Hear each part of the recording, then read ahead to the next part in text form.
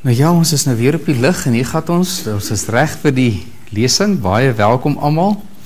Kom ons gaan net ons harte voor die Here stil maak. Here, wat 'n voorreg om ook weer eens te weet dat u woord is lewend en kragtig en Here dit leer vir ons alreeds in die Nuwe Testament soveel kosbare dinge. Dankie dat ons uit u wonderlike woord kan leer ook vanaand. En ons gebed is dat u Heilige Gees vir ons by die dieptes van u woord sal uitbring. Dinge wat vir ons dalk op die oppervlak lyk, lei vir ons in in u harts gedagtes en dat ons u beter mag dien in Jesus naam. Amen. Vriende, baie welkom. Ons nooi vir jou om saam met ons in Numeri hoofstuk 3 tot hoofstuk 6 te blaai in die Bybel en saam met ons 'n baie kosbare lesing deur te gaan wat handel oor die ordening van God vir sy volk. Hy's besig om sy volk te orden. Die volk van Israel is 40 dae lank wat hulle net hier voor die eh, berg Sinai wag en die Here is besig om hulle gereed te maak want hulle moet letterlik soos 'n weermag optrek vanaf die berg Sinai op pad na die land van Kanaan toe. So daai 40 dae wagtydperk is die tyd wat God besig is om hulle uh, te rangskik, te orden en die Here is besig om hulle voor te berei vir die groot dinge wat vir hulle voorlê. Ek en jy gaan deur dieselfde dinge. God is besig om ons voor te berei vir groot dinge. Daarom daardie wagtydperke in ons eie lewe. Wanneer jy gaan kyk na Numeri hoofstuk 3 en hoofstuk 4, dan is dit so half 'n eenheid.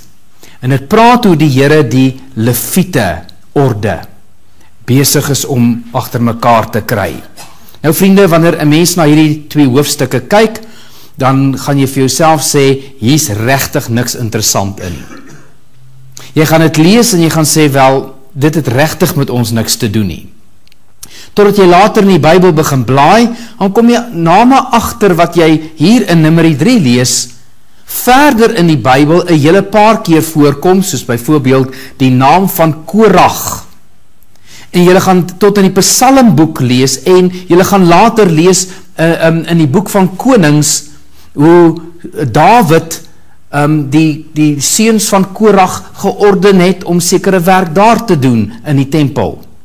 Jy gaan later agterkom dat sekere van die psalms is geskrywe deur die seuns van Korag.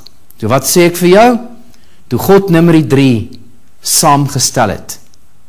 Toe kyk hy duisende jare vooruit.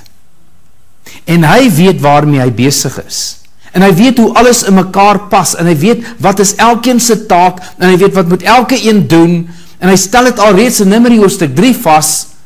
En oomblik as jy daarby stil staan, kom jy agter maar ons aanbid 'n absolute wonderlike wyse God. Elke taak wat hy gee, is nie net vir nou nie. Hy kyk in die nageslagte in en hy weet waarmee hy besig is in ons lewens. Fantasties om dit te ontdek. Jy gaan God se wysheid in hierdie hoofstukke sien. Maar ek wil nou vir jou sê, jy gaan sien hoe dit met my en met jou te doen het, want eerstens praat hy van die sensus van die leviete en daarna praat hy oor hulle take en wat elkeen se afsonderlike taak is. Verstaan gou eers 'n oomblik die verskil tussen die leviete en die priesters. Onthou, die priesters kom uit die stam van Levi uit. Maar hulle is net 'n klein groepie. Dit was op daardie stadium net um, Aaron en sy twee seuns wat oorgebly het. Dis al wie op daardie stadium nog um, in die priesterorde was. Hulle was letterlik 3. Net 3. Die leviete was oor die 22000 gewees. So jy kry hierdie onderskeid van die priesters en soos die jare sou aanstap, sou die priesters van 3 af vermeerder selfs na duisende toe. Dit sou so baie wees dat in die tyd van Dawid toe was daar soveel priesters gewees wees wat moes diens doen dat hy weer moes orde skep uh, onder die priesters en hy deel hulle op in 24 groepe wat elke jaar moet diens doen. Met ander woorde, elke halwe maand dan kom 'n volgende priesterorde in. Wat het dit met ons te doen? Baie. Onthou julle dat Johannes die Doper se pa het in die tyd toe dit sy hulle beurt was om diens te doen, toe stap hy in die tempel in en hy ontmoet die engel wat vir hom sê jy gaan 'n seentjie hê, jy moet hom Johannes noem. Verstaan jy dit? So jy lees iets daar in die Nuwe Testament en jy mis eintlik waar kom dit vandaan? Dawid moes later die priesterorde opdeel in 24 groepe. En tot jy in die Bybel lees in Openbaring hoofstuk 4, dan kyk jy rondom die troon van God en wat sien jy? 24 ouderlinge. En hulle verteenwoordig die res. Dis wat Dawid ingedeel het. Besig om die Here te dien, voor hom neer te val en hulle krone voor hom neer te werp. Wat het die priesters gedoen? Hulle taak was hoofsaaklik om God te dien. Verstaan u dit? Die leviete het die priesters gedien en hulle het ook die volk gehelp. Hulle het 'n verskriklike groot taak gehad. So waarmee ons met julle praat nou is die Here het sekere mense geroep met 'n verskriklike groot taak. Dit word hulle lewenstaak. Die Lewiete het hierdie geweldige roeping op hulle lewe gehad. Die priesters het nog 'n groter roeping gehad. Die Lewiete dien die volk, help die volk en op die ou einde wat hulle doen is hulle kom help vir Aaron en dan die priesterorde. Die priesterorde het nie die mense gehelp nie. Hulle help of al wat hulle doen is hulle werk en hulle bedien God self. Later kom jy in Handelinge hoofstuk 6 en die Here roep sy eerste apostels, die 12 disippels wat hy geroep het om apostels te wees. Uitgestuurdes is die woord daar. En wat doen die Here? Toe die werk te veel word in in Handelinge hoofstuk 6, toe sê hulle ons sal ons wy aan gebed en aan die bediening van die woord. En laat die ander die ander take doen. Ons het 'n verskriklike hoë roeping wat ons moet volbring. So as jy kyk tussen die priesters en die leviete, gaan jy agterkom die verskillende take wat elkeen gehad het hier by die tabernakel. En dis hoe die Here orde skep binne in sy koninkryk. Elkeen het 'n taak. Elkeen het 'n roeping. En elkeen moet daardie roeping van die Here volbring. En die roeping wat ons het is 'n hoë roeping. Die leviete was afgesonderd gewees absoluut, totaal en al. Hulle was vir die Here eenkant gesit. Hulle het so groot taak gehad in die tabernakel. En is interessant as jy kyk hoe die Here vir hulle afgesonder het. Dit was daar by die verhaal van die goue kalf. Die Here het eers vir die Here volk gesê julle gaan my konings en my priesters wees. Eksodus hoofstuk 19. Toe maak hulle die goue kalf en die Here stop alles. Hy sê julle die goue kalf gemaak. Die enigste ouens wat gestaan het teen die goue kalf was die Lewiete. En die Here sê, nou kan julle nader kom en ek gee julle geweldige voorreg om my te dien. Die Lewiete het dan 'n verskriklike taak gehad onder die volk. Hulle moes letterlik die tabernakel beskerm, daarom het hulle reg rondom die tabernakel gebly. Die priesters is dan getel net soos die volk, maar heeltemal anders. Hulle is getel nie soos die volk van 20 jaar af en verder nie. Hulle is getel van 1 maand af. Die mense wat geveg het het van 20 jaar af verder geveg, nê, van 20 jaar se ouderdom af. Die priesters kon eers bedien en die leviete kon eers bedien vanaf 30 jarige ouderdom tot 50 jaar. Van 25 jarige ouderdom af was dit hulle taak om voorberei te word vir 5 jaar lank sodat hulle op die ou einde vir die Here in sy tabernakel kon diens doen. Later lees ons 'n hele paar mense wat groot werk gedoen het onder van van die leviete af. Byvoorbeeld ehm um, uh, Esegiel was 'n 'n priester gewees. En is interessant dan jy verstaan nou die hele boek van Esegiel binne 'n paar sekondes. Hy was 'n priester.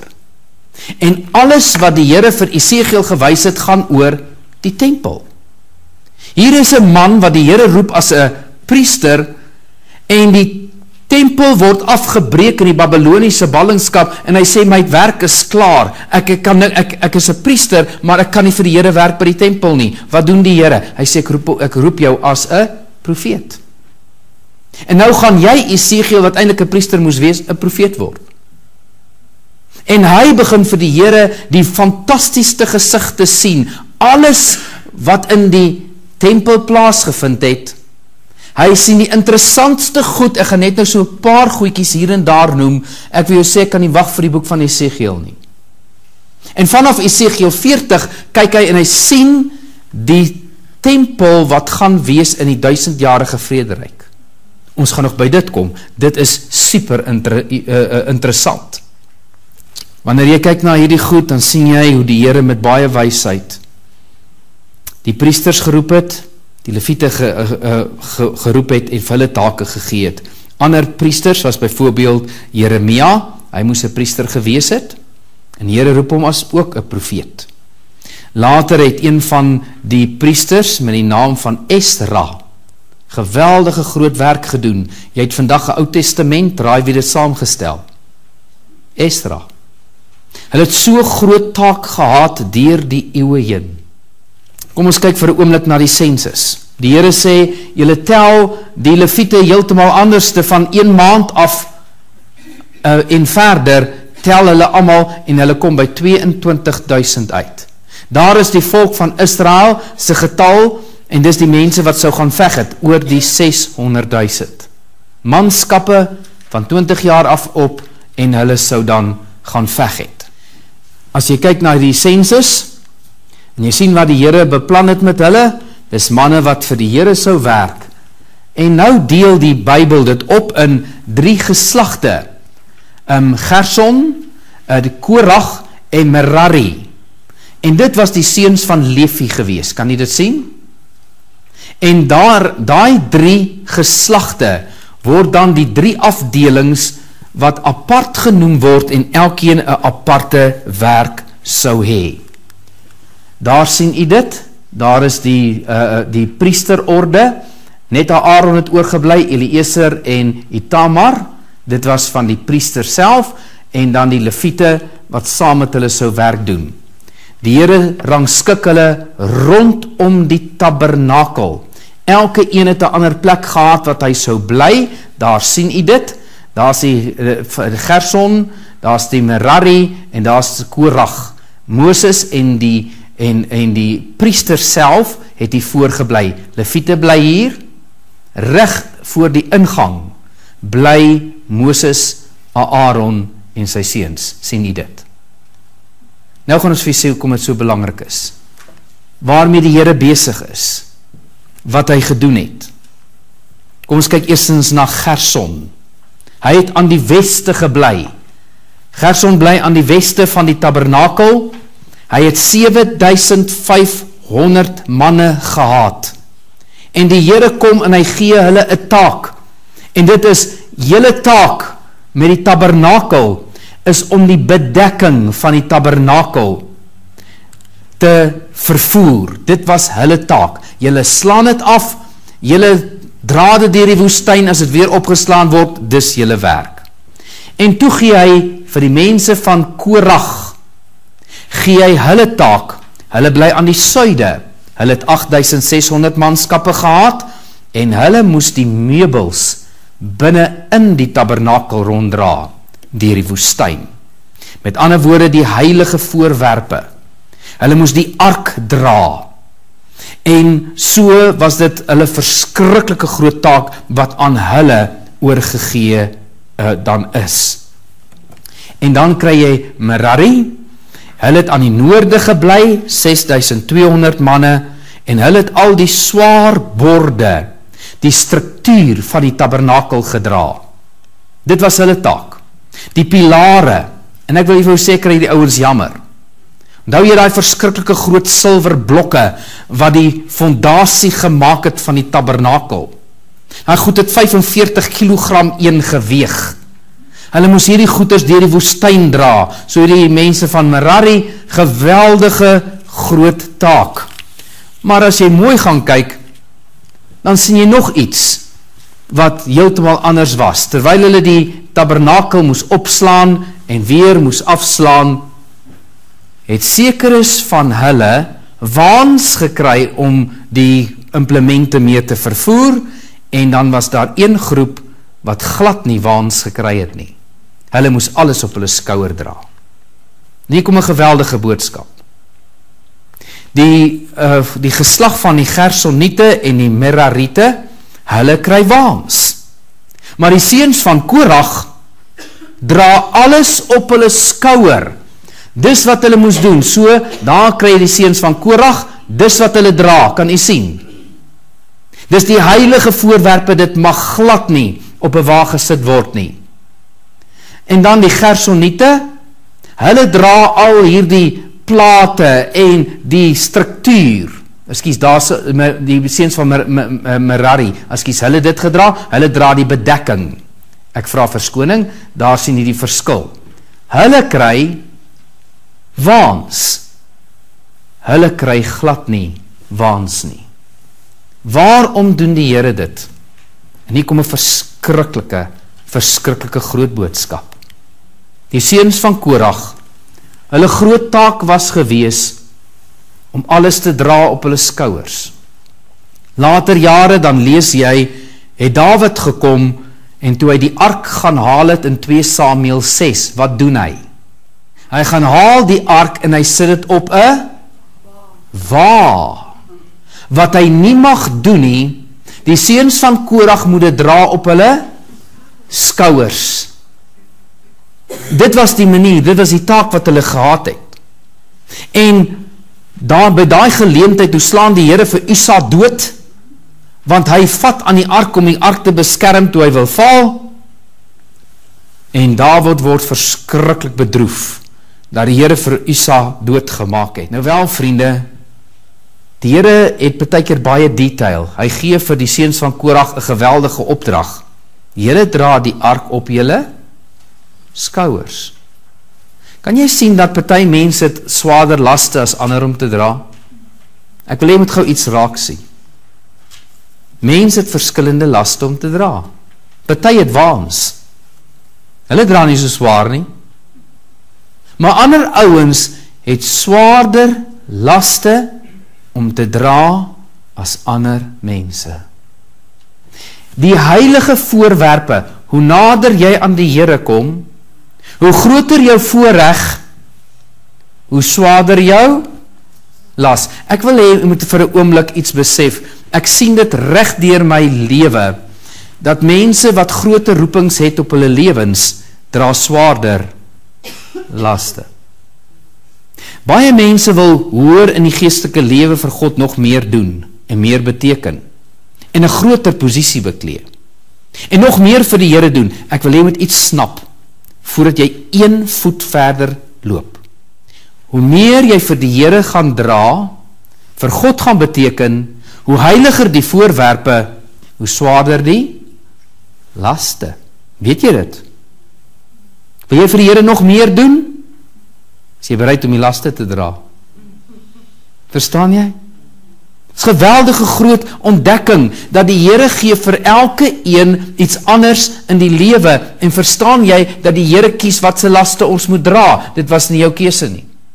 Kan jy ook agterkom dat die Here kies elkeen se bediening vir hom uit? Dit was nie jou keuse nie. Die Here kies dit.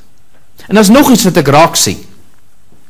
Sekere ouens soos Merari, hulle het 'n wa gehad. Met ander woorde, hulle vat hulle las en hulle kan dit af lê. Die ander ouens kan hulle las af lê nie. Weet jy dat's laste wat ons kan deel met mekaar? Galasiërs 6 vers 2, dra mekaar se laste. Ons kan help. Maar die Bybel sê ook vir ons daar's party van die laste wat niemand jou mee kan help nie. Sorry jy gaan dit dra. In jou lewe gaan daar iets plaasvind. Daar is sekere laste wat niemand van jou kan af vat nie. Jy gaan dit dra. Hoe klink dit? Dis nie maklik nie, maar dis hoe dit werk. Die seuns van Korag het hierdie geweldige taak gehad. Julle dra dit op julle skouers. Baie keer dan kyk ons na ander mense dan sê ons, weet jy wat? Hulle het nie so groot stryd soos ek nie. Hulle het nie so groot probleme soos ek nie. Hulle dra nie so swaar soos ek nie. Hulle kinders, almal dien die Here en ek sukkel my flou. Reg? Nou kom jy agter, maar weet wat? Hier dra jy goed wat ander nie hoef te dra nie. Die seuns van Merari, hulle hoef nie, hulle het waans. Jy al agtergekom dat die Here kies jou las vir jou. Dis nie maklik om die goeie te ontdek nie, reg? Nou miskien verstaan jy hoekom ons baie keer sekere laste het en sorry jy gaan dit dra en raai wat en God gaan vir jou krag gee. Here, hoekom het daai ouens dit so maklik? Here, hoekom het ek dit so moeilik? So God kies. En sorry dis hoe dit werk. Sekere laste kan jy nie op 'n op 'n waas sit nie. Jy dra daai goed op jou skouers. Nou wil ek jou iets verder noem. Vir 40 jaar lank het hulle toe hulle deur die woestyn getrek het, die tabernakel gedra. Kan jy dit maak nou alles sin, nê? God gee vir hulle take wanneer ons trek en wanneer ons opslaan, dis elkeen se werk. En is interessant hoe ook hulle die tabernakel opgeslaan het. Daar was 'n hele orde gewees. Hoe hulle sekere goederes moes toegooi met van die lappe en later die ark was die laaste een wat hulle moes toegooi. Hulle vat die voorhangsel, hulle loop vorentoe, hulle gooi die voorhangsel bo oor bo oor die ark.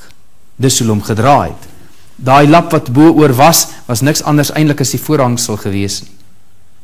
Wat slaan hulle eerste op? Die allerheiligste. Dit's verskriklik diep. God begin altyd eerste met die allerheiligste. Wanneer hy met die mens werk wat in 3 dele gedeel is ook liggaam, siel en gees, waar begin hy altyd eerste werk met jou gees? Dis waar my eerste begin werk, nie met jou siel nie, ook nie met jou liggaam nie. Baie mense sê ek is siek, Here, kom na U toe. Sê Here, ek werk eers met jou gees. Snap jy dit? Maar vir 40 jaar lank dra hulle die ark rond en toe kom hulle in die land van Kanaan. In die land van Kanaan sê die Bybel vir ons het die Here vir hulle uh, vir 7 jaar laat deur die land trek en hulle oorwin die nasies en toe slaan hulle die tabernakel op by Silo. En u weet, u het baie gehoor daarvan in die boek van Rigters en ook dan um in die boek van Samuel het hulle by Silo die tabernakel opgeslaan. Wat gebeur daar? Daar's die werk klaar. Is ek reg? Toe's die werk klaar. Nou hoef hulle nie meer die tabernakel rond te dra nie. Wat is die taak nou van Merari en van die Korahite? Wat is hulle taak nou? Hulle taak het nie gestop nie. Hulle toe vir Israel begin leer al die dinge van die Here en wanneer hulle nie hulle werk doen nie, verval die hele Israel. Dis die hele boek van Rigters. Vir 369 jaar was hulle taak om Israel te onderrig hulle het nie dit dit gedoen nie. Later lees jy dat die grootste probleme het ontstaan by die leviete. En later by die boek van Rigters gaan julle ook agterkom die grootste probleem was Bethlehem. Tot Dawid gebore is, toe draai God alles om. Bethlehem was die grootste probleem, die probleemstad in Israel. Tot Dawid daar gebore is. Toe word dit die lieflingsstad wat later die Messias gebore word maar jy gaan iets agterkom. Die leviete was die ouens gewees wat hulle taak doen nie vir 369 jaar. Die hele tyd van die rigters. En tot Dawid gekom het en hy herstel die priesterorde. En hulle doen 'n geweldige groot werk in Israel van daardie tyd af. Hulle het die volk opgelei. Hulle was later so kragtig wat hulle werk gehad het om te doen. Hulle moes dele van die Bybel skryf. Hulle het later soos soos Esdra wat die Ou Testament saamgestel het. Van hulle was profete gewees. Kan jy vir jouself indink dat van die kinders van Korag skryf gedeeltes van die Bybel? Wat 'n groot taak. Wat het hulle in die begin gedoen? Goed rondgedra. Wat was hulle taak later? Massief groot. Ek wil hê jy moet nou min, niks mis wat ek gesê het nie. Wie wat is die eerste goed wat die Here vir ons gee om te doen? Dra goed rond. Die eerste goed wat die Here vir ons gee om te doen is presies dieselfde. Dra goed rond. Later kom die groot take. Vir die 400 jaar voor Christus was dit net die priesters gewees in die Lewiete wat oorgebly het om die werk van die Here te doen vir 400 jaar lank. Tot Johannes die Doper kom en hy was 'n priester. So met ander woorde, jy kom agter dat ons groot take lê later. Die groot goed wat vir God vir ons gaan gee om die Bybel te skryf wat hulle gedoen het, om die Bybel saam te stel, om die volk te leer, maar die eerste wat God vir jou gee is dra paar laste rond. En as jy getrou is daarin, dan stel die Here jou aan oor die groot goed. Reg deur die Bybel het God se grootste diensknegte eers die simpel taakies gehad om vir God te doen. Weet jy dit? Ons gaan nog eendag kom by die lewensverhaal van Paulus. En baie mense dink dat Paulus het het heel bo begin. Ek wil sê daar's nie 'n profeet, daar was nie 'n priester, daar was nie 'n godsman wat bo begin het nie. Almal het onder begin. En hy moes 'n sukses maak daarvan. Paulus, as jy sy lewe bestudeer, gaan jy agterkom Paulus moes heel onder begin. Waar het Paulus geëindig? heel bo. Met die grootste bediening en die grootste verantwoordelikheid, God het vir een man die taak gegee om die ganse wêreld te evangeliseer terwyl hy die 12 disippels aangestel het om om Israel te evangeliseer. Een man kry so 'n groot taak. Raai wat? Gaan kyk hoe hy begin. Heel onder. So miskien voel dit vir jou ook Here, al wat U van my vra is om bietjie laste rond te skryf, skuif. Al wat U van my vra, Here, is om probleme te hanteer. Wel wees getrou daarin. Die groot werk kom. Die hele boodskap van Numeri 3 is hoe die Here eers klein taakies gegee het en later die groot take gegee het. Ek leer ook hier uit dat almal moet saamwerk. Elkeen het sy taak gehad. En weet wat doen die Here in sy koninkryk? In die Nuwe Testament, die Here gee vir ons elkeen 'n gawe en elkeen 'n bediening. Presies dieselfde in die Nuwe Testament. Wie kies sy eie bediening? Niemand. God kies dit. En hy gee vir jou die bediening wat hy vir jou gee. Ons werk later soos een liggaam saam. Elkeen het sy taak. Dis waarom 1 Korintiërs 12 sê die hand kan nie sê vir die oog maar ek het jou nie nodig nie. Elkeen werk. Elkeen is deel daarvan en al wat jy moet ontdek is wat waar wat is die roeping op op jou lewe? Waarvoor het God jou geroep? Wat is jou taak? Wat is jou roeping? Onthou God gee jou eers 'n klomp goed om rond te skuif, reg? Laste om te dra. Dis nie die maklike gedeelte van bediening nie maar jy begin onder. En dan is die Here besig om stappie vir stappie jou voor te berei vir die groot goed. Ek sien nog 'n ding raak. En is my baie interessant, daar's nog steeds die werk van Korag gewees. As jy kyk na die take en ons gaan soos die Bybel aanstap, gaan jy verskriklike groot um, take sien nog waarvan die Lewiete elke een, party van hulle net in die boek van Numeri moes die trompette blaas, sommige moes die musiekinstrumente speel, party moes dra, party moes help met die offers. Dis vreeslik interessant as ons daarby kom. Maar iets is interessant, vriende. Party het nader aan die Here gebly as ander. Verstaan gou hierdie ding. Die Lewiete het naby aan die tabernakel gebly. Moses en Aaron en die seuns het reg voor die ingang gebly van die tabernakel. Sommige ouens bly nader aan die Here se teenwoordigheid as ander. Hier's 'n vraag wat in my eie gemoed opgekom het. Dink julle in die hemel gaan party mense nader aan die Here bly as ander? Waar gaan my huis wees? Ek weet nie. Maar hier's 'n vraag net in my gemoed. Dink jy daar's 'n verskil in die hemel? Dink jy party mense gaan nader aan die Here wees of is die Here se teenwoordigheid maar net oralste net daar? Gaan party mense nader aan sy troon wees? Ek dink nie net gaan jou getrouheid op aarde 'n verskil maak in die grootheid van jou bediening wat God aan jou gaan toevertrou nie. My diepe oortuiging is daar is 'n verskil in die hemel. Waar kry dit? Ja, in die Bybel. Gaan lees 'n bietjie Daniël hoofstuk 12 vers 3. Dan sê die Here en die wat baie tot regverdigheid gelei het sal skitter soos sterre vir ewig en altoos. En daai teksvers sê vir ons dat as jy siele na Jesus toe gelei het op aarde, weet jy wat gaan gebeur in die hemel? Jy gaan skitter soos 'n ster, nie vir 'n kort rukkie nie, maar vir ewig en altoos. Lei siele na Jesus toe en jy gaan skitter soos 'n ster. Ander gaan hulle dit gaan hulle skitter? Nee. Die wat siele na Jesus toe gelei het. Is daar verskil? Ek dink so. As jy getrou was op aarde, Ek weet nie of ons nader aan die Here se teenwoordigheid gaan bly, nader aan sy troon as ander nie. Ek weet nie. Maar ek glo daar's 'n verskil en ek glo dat dit wat ons op aarde doen, vind, vind weerga in die hemel. In die ewigheid. Wees getrou op aarde.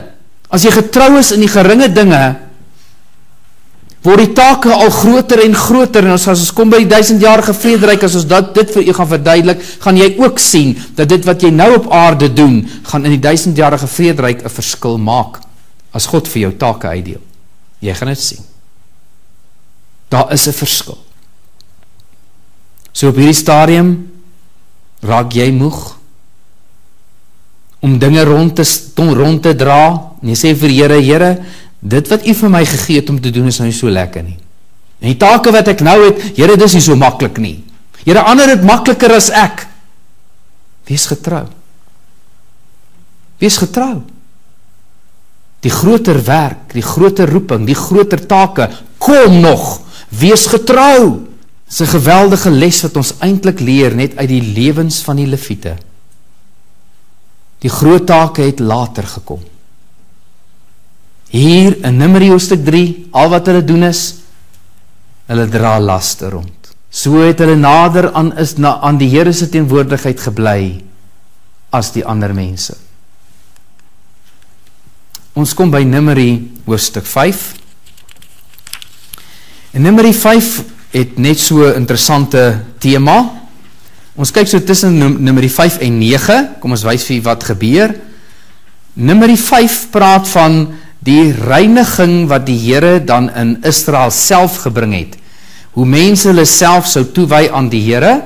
God sou in Israel kom wandel in die volk en die Here sê: "Gooi asseblief almal wat onrein is, gooi hulle uit die laar uit, buite kan die laar."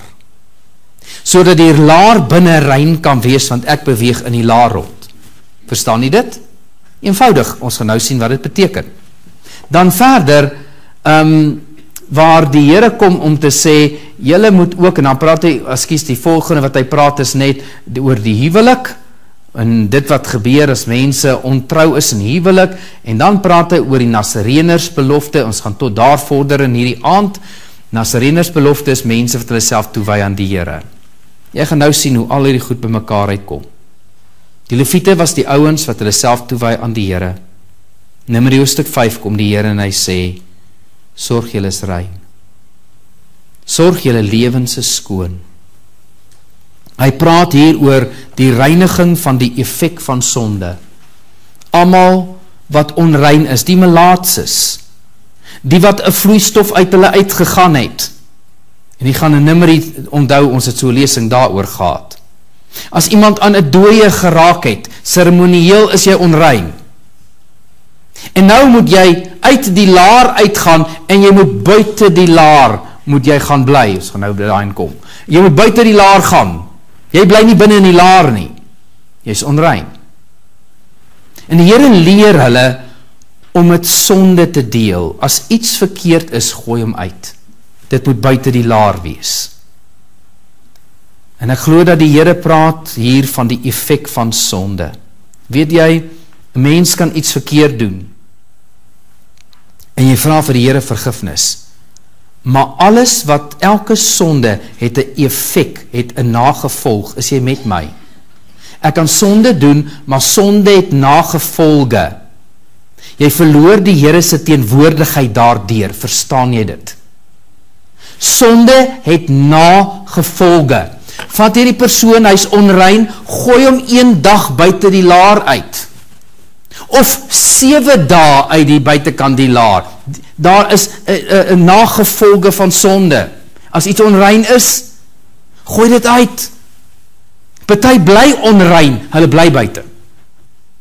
Ek en jy kan baie keer en baie maklik net iets verkeerd doen en al wat ons daarna vir die Here sê is sorry.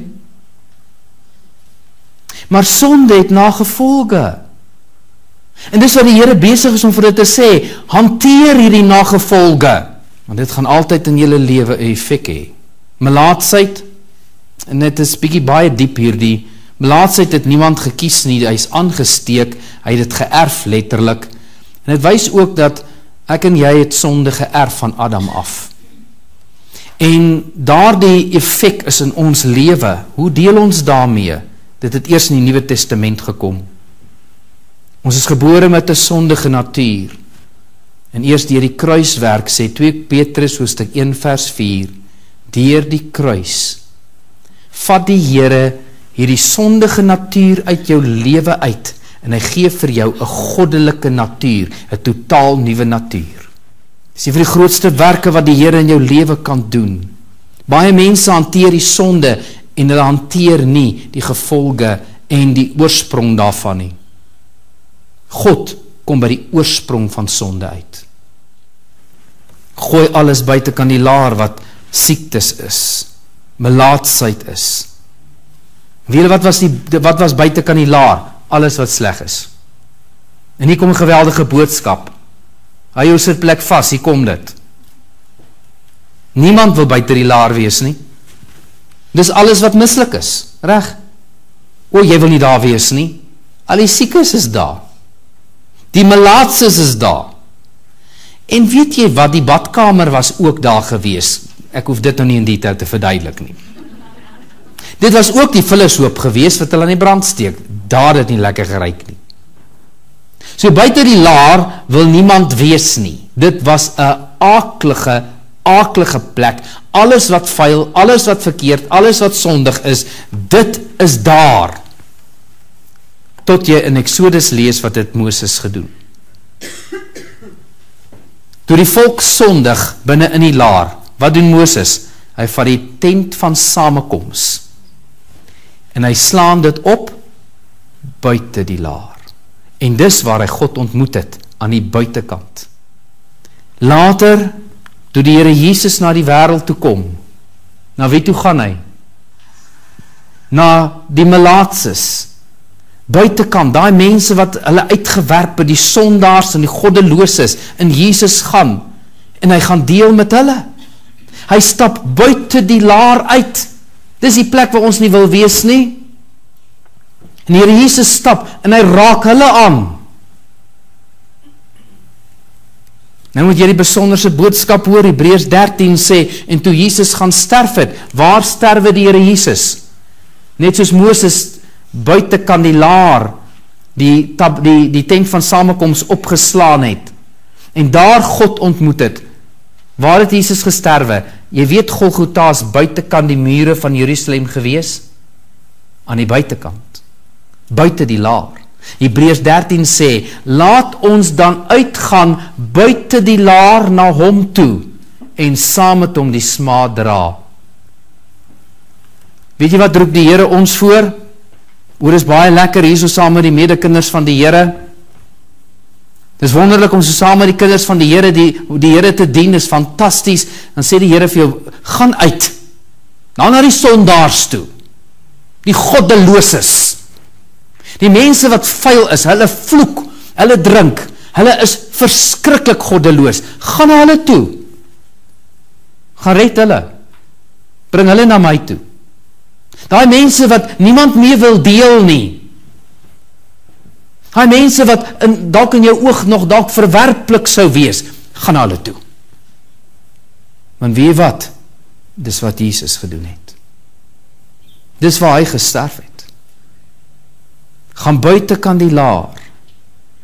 En daarom die Here wou geweldige geestelike les hier vir Israel leer en dit is mense, dit wat verkeerd is, gooi buitekant, maar toe staan 'n tweede les. Toe die Nuwe Testament aanbreek, toe sê die Here, almal wat daar buite is, almal wat so verwerplik is, gaan na hulle toe. Gaan bring vir hulle die evangelie. Gaan red daardie mense. Gaan maak 'n verskil in hulle lewens. Die hoofstuk gaan verder. En hierdie hoofstuk handel ook oor restituisie wat mense moet maak So Numeri hoofstuk 5 praat die Bybel ook oor restituisie. God is besig om alles uit die laar te gooi wat verkeerd is. Weet wat is een van die goeders wat 'n mens in jou hart kan hou? Jy weet as jy iets verkeerd gedoen het teenoor iemand en jy moet dit reg doen. Gaan regmaak. Verstaan jy dit? Jy weet dit. En jy weet wanneer iemand iets teenoor jou verkeerd gedoen het en jy moet dit vergewe. En hierdie ding van restituisie doen het een van die wette geword wat die Here in sy woord in Numeri 5 kom vasstel het. Weet jy vir kinders van God moes kom op daai punt waar hulle iets moet gaan regmaak met iemand anderste. Iets wat jy gedoen het, iets wat jy gevat het. 'n Feit wat jy aan mekaar gesit het met iemand anders. So paar weke gelede bel 'n baie kosbare ou predikant bel my En hy sê vir my, "Het jy die nommer van?" en hy gee die persoon se naam. Ek sê, "Ja, ek het daai nommer." Hy sê, "Ek moet gaan regmaak met hom. Baie jare gelede het ons 'n fight gehad. En dit is op die oppervlak reggemaak, maar dis nie hoe God dit wil hê nie. Ek gaan regmaak." Ek wil jou sê ek het al die respek in my hart vir daai ou oud leraar wat die beginsel van die Bybel begin navolg. Dit is goed om reg te maak. In my eie lewe sal ek nooit vergeet hoe die Here vir my na my redding goed gewys het wat ek gedoen het voor my redding. Twee goed spesifiek. Sy Here sy vingers so opgelê en ek kom by God nie reg wegkom nie. Die Here sê, "Gaan maak reg." En ek het al met u daardie getuienis gedeel van 5 sent en 'n stikkende magneet hoe ek my maatjie wat langs my gesit het, ou Jolanda Pols, se 5 sent gevat het. Daai tyd was dit baie geld. En die buurvrou se stikkende magneet van die grond af getel opgetel het in my sak gesit het, kom ek help u net, dit was voor my redding. Al twee goed het gebeur toe ek in graad 1 was. Graad 1 voor my redding. Raai wat? Ek word gered 3 jaar later. En toe ek gered is, toe sê die Here vir my daar's dinge wat jy moet gaan regmaak. En jy kan nou verduidelik soos wat jy wil. Iets staan tussen my en God. En het, het my 10 jaar gevat voor ek gaan regmaak het. In my matriekjaar het ek geweet as ek verder in my geestelike lewe wil gaan, gaan maak reg. En ek het Die meisie se wie se 5 sent ek gevat het, het ek in 'n ander skool gaan opsoek en ek het vir haar daai stadium R1 teruggegee wat 'n pakkie chips en 'n koeldrank was in daai tyd. Dit was daai dag se geld wat ek daar gevat het. En ek het 'n brief geskrywe vir die buurvrou om vir haar te sê jammer, ek het jou magneet gevat, sy weet nie eens daarvan nie. Toe ek dit skryf, toe ek vry. Dis restituisie. En nou staan daar iets interessant wat u dalk nie dadelik mag verstaan nie, restituisie aan die dode. Wie staan in Numeri 5 restituisie aan die dode? Wat is dit? Wel veronderstel ek skuld vir iemand geld. En daai persoon sterwe intussen. Wonderlik, nou skuld ek niks meer geld nie. Dit was 'n bargain. As ek 100 000 rand aan iemand geskuld het en hy gaan dood, kyk, dit was nou die grootste bargain wat ek geslaan het. Die Bybel sê nee. Daai geld gee nou aan die Here. Hoekom? God is ernstig oor restituisie. Hoe klink dit? God is ernstig oor restituisie. Baie keer dan gaan ons voort in ons lewe en hy kan ons nie regtig sien nie en God sê ek is ernstig daaroor. Gaan maak dit reg. Jy het iets van iemand gevat. Jy het 'n fight aangesit met iemand Maar daai een ding wat die Here sy vinger so op op op jou lewe lê, gaan maak dit reg. En jy ervaar die deurbrake in jou geestelike lewe. Dis asof die Here, kan jy sien hoe die Here besig is om goed in hulle lewens reg te sit, want hulle is op pad na Kanaan toe. Hulle gaan groot wonderwerke daar beleef. Kyk, hulle het alreeds wonderwerke beleef tot op hierdie stadium, maar die groot wonderwerke lê nog voor as die Here daai nasies gaan verslaan. Hulle gaan reuse oorwin. Die groot wonderwerke lê nog voor. Wat sê die Here? Maak eers 'n paar goeders reg in jou lewe sodat ek groter werke in jou lewe kan doen. En dan kom die Here en hy praat oor iets anders en dit gaan oor jaloersheid. Jaloersheid in 'n huwelik. Wanneer 'n man sy vrou verdink en ek wil 'n oomblik stop. Wil ek 'n oomblik stop. Ek wil iets sê en ek wil hê jy moet fyn luister voordat jy 'n gevolgtrekking maak. Numeri hoofstuk 5 sê as 'n man sy vrou verdink. Gaan lees die boek van Spreuke, dan sê hy pas op vir die oorspelige vrou en hy gebruik nie hy sê nie man nie. Wie is die ouens wat die meeste droog maak? Ons sal sê mans. Reg. Is ek reg? Kom ek help u. Weet jy kom val meeste mans? Die probleem is lê by die vrou. Die vrouens wat hulle verlei. Is ek reg? Ek wil hê jy moet 'n oomblik na die Bybel kyk en sien wat die woord van die Here sê. Wie kom val baie mans? Moenie sê hulle het nie skuld nie. O, waaragtig. Maar die probleem lê selfs in Numeri hoofstuk hoofstuk uh uh uh 5 en wat dit wat jy lees in Spreuke, pas op vir die vrou. Reg? En dit is wat die Here ook hier vir ons so wil uitbring. Hy sê wanneer 'n man nou vir sy vrou sê, maar weet wat ek ek vermoed jy het, jy het, was ontrou aan my gewees en nou is daar 'n gees van jaloesie. En hier's is iets baie prakties wat ook in ons lewe vandag afspeel in huise. 'n Gees van jaloesie. En dit is ek vertrou jou nie. Nou moet jy verstaan daar is gegronde jaloesie en daar's ongegronde jaloesie. 'n Man of 'n vrou verdink die ander party en regtig nou hulle, hulle vat dit net te ver. En baie keer is daar al die reg om te weet, maar ek kan nie my man of my vrou vertrou nie. Verstaan jy dit? En nou kom die Here in deur hierdie wet van hierdie bitter water, hierdie gifwater wat sy moes drink. Wat dan haar buik sou laat opswel en haar sou laat sterwe het. Al wat dit die hier hier hier hier vir ons na vore kom is die Here sê hierdie ding moet uitgesorteer word. Jy kan nie so aangaan nie. Hoor gou mooi wat hier staan.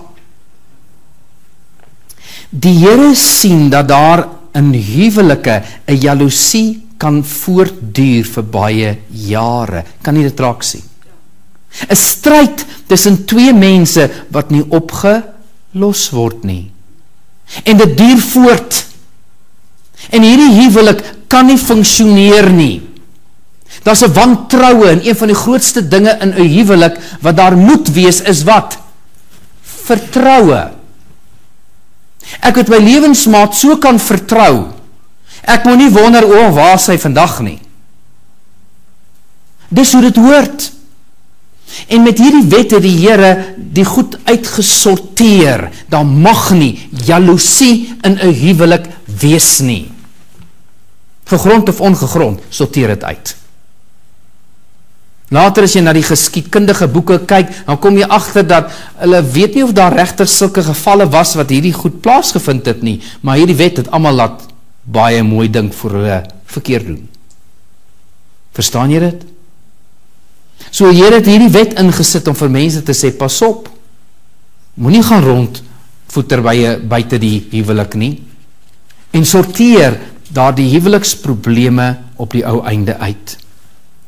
Ek wil vir u sê vandag in baie gesinne is daar soveel jaloesie. Soveel stryd tussen man en vrou. Soveel wantroue en onwaarheid wat later die norm geword het in baie huise. Die Here wil ons verlos daarvan. Deur hierdie water wat die vrou sou drink, sou die sonde uitkom. Bid laat sonde uitkom. Bid laat die goed sal uitkom. Daar wag vergifnis geskenk moet word, skenk vergifnis. En dis nie die einde nie. Daai bitter beker het eers opgelos geword in die Nuwe Testament. Waar het dit opgelos geword? In die tuin van Getsemane. Toe die Here Jesus 'n beker gehad het wat by wat hy gesê het ek wens dat hierdie beker by my sou verbygaan. Want as ek hierdie beker drink sal hy my doodmaak want ek sou skuldig word. Verstaan jy dit? As Jesus die sonde van die wêreld op hom sou neem, sou hy skuldig word. En as hy daai beker sou drink, wat sou gebeur? Hy sou sterf. Nommer 5. Here laat hierdie beker by my verbygaan en ek wil een ding vir jou sê, dis waarom daar vergifnis is. Dis waarom daar heling is, want Jesus het daardie beker vir my en vir jou gedrink. Verstaan jy dit? Die oplossing kom altyd in die Nuwe Testament. Wonderlik om hierdie goeters te verstaan en raak te sien. Ons kom by die laaste gedeelte wat ons hanteer en dit is dan die Nasareners belofte. Die Nasareërs belofte, skielik daar spreek ek dit reg uit. Nasareërs belofte. Ons gaan vir jou sê wat dit beteken. Numeri 6 wanneer 'n persoon hom afsonder aan die Here. Jy kan jy agterkom die hele tyd gaan dit amper oor dieselfde onderwerp, die priesters wat afgesonder is vir God en die take wat hulle moet doen. Later eh, sorteer die verkeerde goeders uit. Wy jou toe aan die Here Numeri hoofstuk 6. Nie net die priesters kon hulle self toewy aan die Here nie, hulle toegewyde lewens gehad, maar enige iemand kan kom. En hy sê Here, hier's my lewe. En dan maak hy 'n gelofte aan die Here genoem die Nasareërs belofte. Hy wy homself toe aan die Here. Wat is dit? Die Hebreëse woord is Nazir. Nazir is verskriklik interessant. Die Nazir beteken in Hebreëus eenkant gesit of toegewy aan. Was die Here Jesus 'n Nasareër geweest? Nee, hy was 'n Nasareëner. Daar's 'n verskil. Wat is die verskil? Nasareër is iemand wat die belofte doen. Nasareëner is iemand wat in Nasaret bly. Goed? Jesus was 'n Nasareëner gewees. Hy kom van Nasaret af. En hy was genoem ook die Nasareëner. Maar Jesus was nie 'n Nasareër soos wat ons dit vind nie. Wie was Nasareërs geweest? Hier kry jy hulle. Een van die bekendstes was Samson gewees. En jy weet dat sy ma moes ook nie wyn gedrink het of enige iets verkeerd gedoen het wat 'n Nasareëner moes doen nie, want Samson was op daardie stadium al aan die kom gewees en hy mag dit ook nie inkry nie. So hy was 'n Nasareër gewees van sy geboorte af. Nog 'n persoon is Samuel. Die Bybel sê vir ons van Samuel dat hy is toegewy nog voor sy geboorte. Wat sê Hanna? As u vir my 'n manlike seun gee, sal ek vir hom 'n Nasareer maak vir u. Hy sal sy hare sal lank wees. Hy sal geen druiwe sap en en enige vrug van die wingerdstok gebruik nie. En ek wy hom toe aan u En dit is hoe Samuel was 'n Nasareer gewees. Interessant, weet jy dat Johannes die Doper was ook 'n Nasareer gewees? Jy lees dit in Lukas 1 vers 15. Ook aan sy ouers word gesê en hy sal geen drank en enige iets van die wingerdstok ooit gebruik nie. Ons verstaan, daar's drie goeters wat 'n Nasareëner nie mag mag Nasareer nie mag doen nie en daar word die eerste een genoem, so ons aanvaar hy was 'n Nasareer. En wie nog? Paulus. Nou moet jy gou iets verstaan van 'n Nasareer. Jy kan 'n Nasareer wees jou lewe lank of jy kan 'n Nasareer wees vir 'n sekere tyd. Wat beteken die woord afgesonderd? Weet jy dat Paulus was op sekere tye het homself toegewy aan die Here. Hy het 'n gelofte gemaak en het gesê: "Here, ek gee my lewe vir die volgende maand, vir die volgende week, vir vir so tyd lank, vir 3 weke, vir 7 weke gee ek myself aan U absoluut totaal in al oor." Verstaan jy dit? So hierdie is nie net iets, dit kom baie naby aan vas. Wat jy sekere goeders los om met die Here in kontak te kom, dis die betekenis van vas. Nasareer beteken Here, ek wy myself aan U toe. Dit kom baie naby aan vas. Jy los sekere goed. En wat moes hulle los? Daar's nog van hulle wat moes hulle los? Enige iets wat met drywe te doen het? Hoekom drywe? behalwe die gis. Hulle mag nie die pitte geëet het nie. Hulle mag nie die doppe geëet het nie. Hoekom? Ja, is lekker. Reg. Hulle moet sekere goeders los wat lekker is. Daar sekere dinge wat jy net sê, Here, dis baie aangenaam, maar ek gaan dit los ter wille van 'n toewyding aan U. Daai mense kan net so 'n bietjie vas en bietjie uh, eenkant sit hulle selfone nê. Dit gaan ook baie baie help. Maar 'n sekere goed wat jy net kan eenkant sit en sê, Here, dit is goed wat baie lekker is. Dit kom naby en vas, vriende. Here, ek gaan hierdie goeders los in my lewe vir 'n tyd of my lewe lank.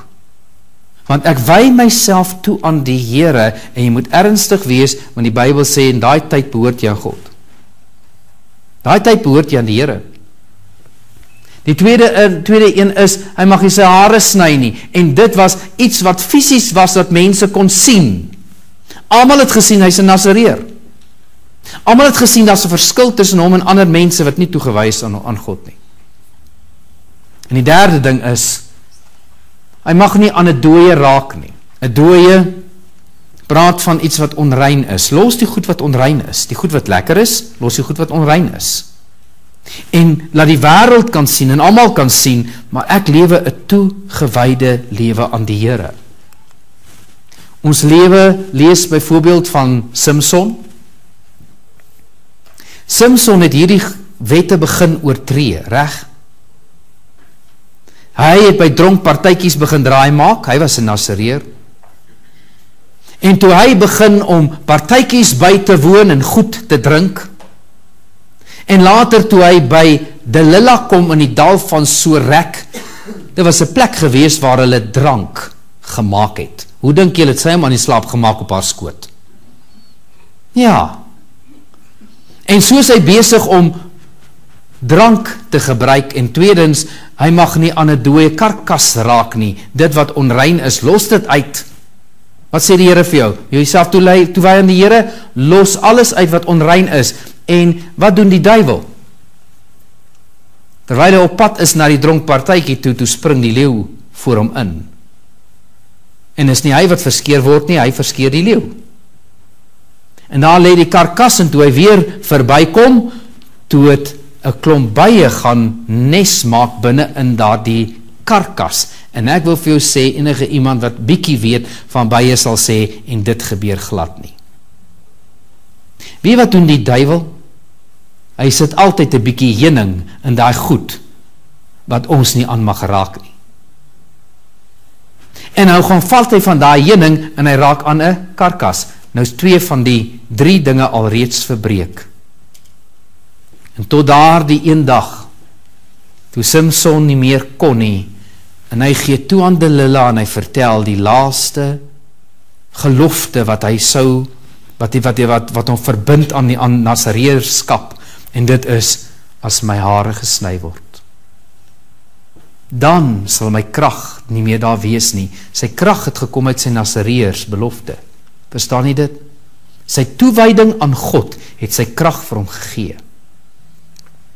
In die oomblik toe hy daardie geheim bekend maak toe's die laaste een van sy gelofte se voorwaardes gebreek en Samson val.